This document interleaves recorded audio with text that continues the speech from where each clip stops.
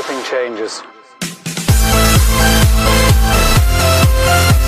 Fala galera, sejam muito bem-vindos a mais uma notícia do futebol brasileiro aqui para vocês. E antes de começarmos a falar da notícia que já está repercutindo bastante, já peço que deixem seu like aqui embaixo que ajuda muito o canal, se inscrevam e ativem o sino para vocês ficarem por dentro de tudo que acontece no futebol brasileiro, beleza? Então vamos deixar de papo e bora pra notícia.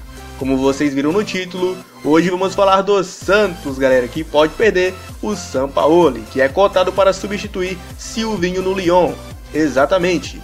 Silvinho foi demitido na última segunda-feira, dia 7, e abriu caminho para Sampaoli assumir o Lyon da França, de acordo com o jornal L'Equipe. Após início turbulento da temporada, o técnico Silvinho foi demitido do comando da equipe francesa na última segunda. Com a série do brasileiro, Jorge Sampaoli é um dos cotados a assumir o cargo, de acordo com o jornal L'Equipe. Sampaoli é um dos grandes destaques do Campeonato Brasileiro de 2019, com 44 pontos conquistados em 23 jogos. O Santos ocupa o terceiro lugar na tabela de classificação da competição. São 13 vitórias, 5 empates e 5 derrotas até agora. A publicação também afirma que o nome de preferência da diretoria é o de Laurent Blanc, ex-técnico da seleção francesa e do PSG.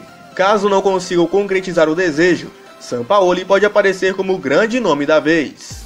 Portanto, galera, a notícia foi essa: o Sampaoli, o queridinho do torcedor santista, pode estar de saída para a França, galera. Exatamente.